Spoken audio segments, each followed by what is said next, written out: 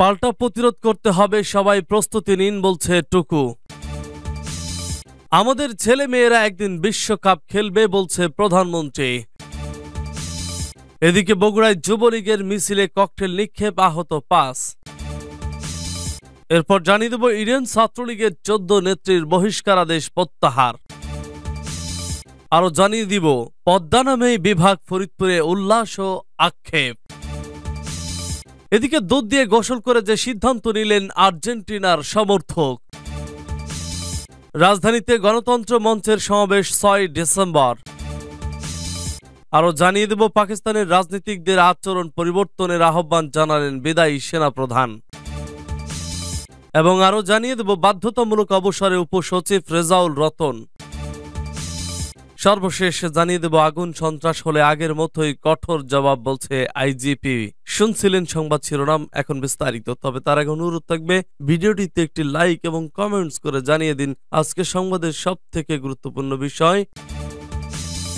পাল্টা প্রতিরোধ করতে হবে, সবাই প্রস্তুতি নিন, বলছে টুকু। জাতীয়তাবাদী যুবদলের সভাপতি সুলতান সালাউদ্দিন টুকু বলেছেন, এই সরকারকে অনেক সময় দেওয়া হয়েছে। তারা প্রতিদিনই আমাদের কোনো না কোনো ভাইয়ের রক্ত ঝরাচ্ছে, হত্যা করছে। মিথ্যা ও গায়েবী মামলা দিচ্ছে, এভাবে আর চলতে দেওয়া যায় না। তাই এখন থেকে পাল্টা প্রতিরোধ শুরু করতে হবে। যেখানেই হামলা, সেখানেই লড়াই করতে হবে। বুধবার রাজধানীর নয়পল্টনে বিএনপির কেন্দ্রীয় কার্যালয়ের সামনে এক বিক্ষোভ মিছিল শেষে তিনি এসব কথা বলেন। নারায়ণগঞ্জের আড়াই হাজারের ছাত্রদলের কেন্দ্রীয় সভাপতি ও সাধারণ সম্পাদকের উপর হামলার প্রতিবাদে তাৎক্ষণিক বিক্ষোভ মিছিল অনুষ্ঠিত হয়। টুকু বলেন গত জুলাই থেকে দ্রব্যমূল্যের ঊর্ধ্বগতি, জ্বালানি তেলের দাম বৃদ্ধিসহ বিভিন্ন জন ইস্যুতে বিএনপি শান্তিপূর্ণ আন্দোলন করছে।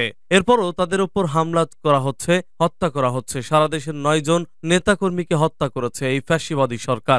এখন সময় এসেছে ঘুরে দাঁড়াবার। সবাইকে সেই প্রস্তুতি নিয়ে রাজপথে থাকতে হবে, নামতে হবে।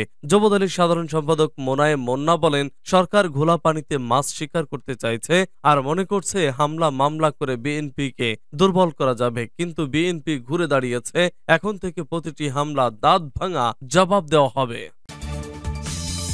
আমাদের ছেলে মেয়েরা একদিন বিশ্বকাপ খেলবে প্রধানমন্ত্রীর আশাবাদ। আন্ত স্কুল, আন্ত কলেজ, আন্ত বিশ্ববিদ্যালয় প্রতিযোগিতার মাধ্যমে আমাদের ছেলে মেয়েরা আরও বিকশিত হচ্ছে, উল্লেখ করে প্রধানমন্ত্রী শেখ হাসিনা আশাবাদ ব্যক্ত করেছেন যে এভাবেই তারা একদিন চূড়ান্ত উৎকর্ষতা অর্জন করে বিশ্বকাপে প্রতিযোগিতা করতে সক্ষম হবে। প্রধানমন্ত্রী বলেন, আজকে প্রাইমারি থেকে যে খেলাধুলার শুরু হয়েছে সেখান থেকে আন্ত বিশ্ববিদ্যালয়ে আমি মনে করি এই প্রতিযোগিতার মধ্য দিয়েই একদিন আমরা বিশ্বে খেলাধুলায় উন্নত হতে পারব। প্রধানমন্ত্রী শেখ হাসিনা বুধবার বিকেলে বঙ্গবন্ধু আন্ত বিশ্ববিদ্যালয় স্পোর্ট চ্যাম্পিয়নশিপের তৃতীয় আসরের সমাপনী ও পদক বিতরণ অনুষ্ঠানে প্রধান অতিথির ভাষণে একথা বলেন রাজধানীর বাংলাদেশ আর্মি স্টেডিয়াম যুব ক্রীড়া মন্ত্রণালয়। আয়োজিত অনুষ্ঠানে তিনি সশরীরে যোগ দেন। যুব ক্রীড়া প্রতিমন্ত্রী জাহিদ আহসান রাসেলের সভাপতিত্বে অনুষ্ঠানে উক্ত মন্ত্রণালয়ের সচিব মেজবাহউদ্দিন স্বাগত বক্তৃতা করেন। যুব ও ক্রীড়া মন্ত্রণালয় বারোটি ইভেন্টের অধীনে দেশের একশো পঁচিশটি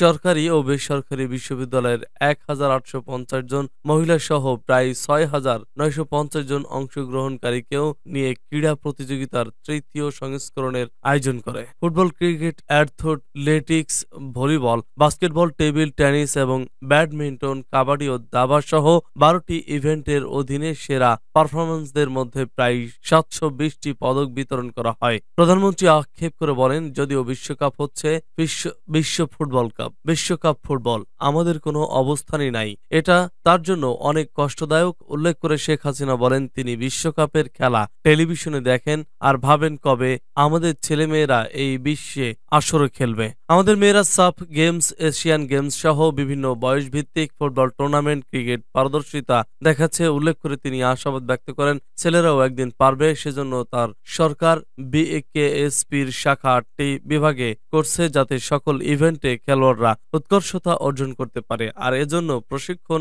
একান্ত অপরিহার্য।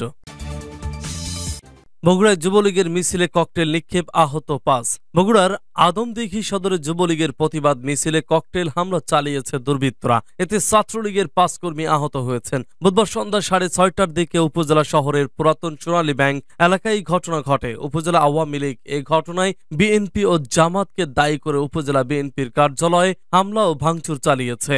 স্থানীয় সূত্রে জানা গেছে, বুধবার সন্ধ্যা সাড়ে ছয়টার দিকে উপজেলা যুবলীগের উদ্যোগে আদম দিঘি দলীয় কার্যালয় থেকে একটি মিছিল বের হয়ে পুরাতন সোনালী ব্যাংক এলাকায় পৌঁছা মাত্র ওই মিছিল লক্ষ্য করে পরপর চারটি ককটেল নিক্ষেপ করে সন্ত্রাসীরা। এর সময় দুটি ককটেল বিস্ফোরিত হয়। এতে ছাত্রলীগ কর্মী বশিউর রহমান, বাপ্পি হোসেন, মিঠু হোসেন, রাসেল হোসেন ও জাফরান হোসেন আহত হন। তাদের আদম দিঘি উপজেলা স্বাস্থ্য কমপ্লেক্স ভর্তি করা হয়েছে।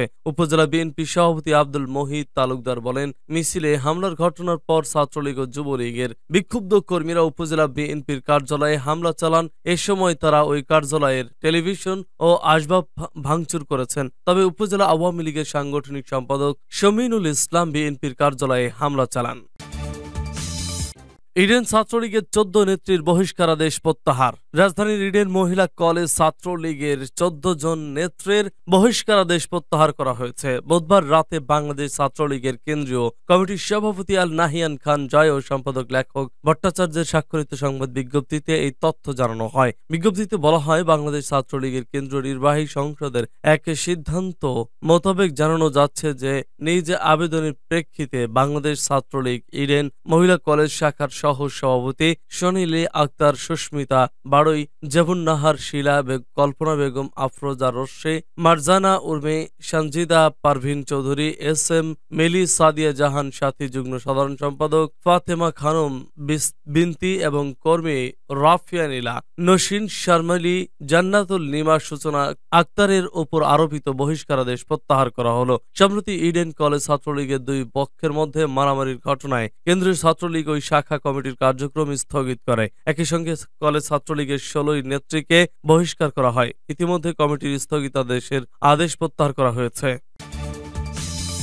পদ্মা নামেই বিভাগ ফরিদপুরে উল্লাস আক্ষেপ। সকল জল্পনা কল্পনার অবসান ঘটিয়ে অবশেষে পদ্মা নামেই ফরিদপুর বিভাগ হচ্ছে এ খবরে ফরিদপুরের বিভিন্ন মহলে উচ্ছ্বাস ও উল্লাস দেখা গেছে। পাশাপাশি ফরিদপুর নামে বিভাগ না হওয়া আক্ষেপের দেখাও মিলছে।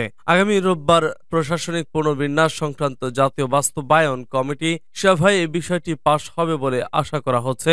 ওই সভায় সভা সূত্রে সভাপতিত্ব করার কথা প্রধানমন্ত্রী শেখ হাসিনার উনিশশো সালে ফরিদপুরের গঠিত হয় ফরিদপুর বিভাগ ও পদ্মা সেতু বাস্তবায়ন কমিটি। ওই কমিটি পরে ফরিদপুর উন্নয়ন কমিটি হিসেবে আত্মপ্রকাশ করে পদ্মা সেতুর কাজ শুরু হওয়ার পর ওই কমিটি ফরিদপুর বিভাগ বাস্তবায়নের জন্য আন্দোলন করে আসছে। এ নিয়ে ফরিদপুরের অনেক আন্দোলন সংগ্রাম হয়েছে। দীর্ঘ দিন পর সেই দাবি পূরণ হতে যাচ্ছে। পদ্মা নামে ফরিদপুর বিভাগ বাস্তবায়িত হতে যাচ্ছে। এ খবর শুনে ফরিদপুরের রাজনৈতিক ও সামাজিক ব্যক্তিবর্গ আনন্দ উল্লাস প্রকাশ করেছেন। ফরিদপুরের সচেতন নাগরিক কমিটির সভাপতি শিপ্র গোস্বামী বলেন, আমাদের বৃহত্তর ফরিদপুর বিভাগ এজন্য খুশি। তবে পদ্মা নামের জায়গায় ফরিদপুর নামে হলে আরও বেশি খুশি হতাম। বিভাগকে পরিপূর্ণতা দেওয়ার জন্য ফরিদপুর সিটি কর্পোরেশনের ঘোষণাপত্র সহ যা যা করার প্রয়োজন দ্রুত তার বাস্তবায়ন চাই। ফরিদপুর উন্নয়ন কমিটির সাধারণ সম্পাদক অধ্যাপক মোহাম্মদ আব্দুল আজিজ বলেন, এটি আমাদের জন্য অত্যন্ত আনন্দের খবর। আমাদের দীর্ঘদিনের স্বপ্ন পূরণ হতে চলেছে,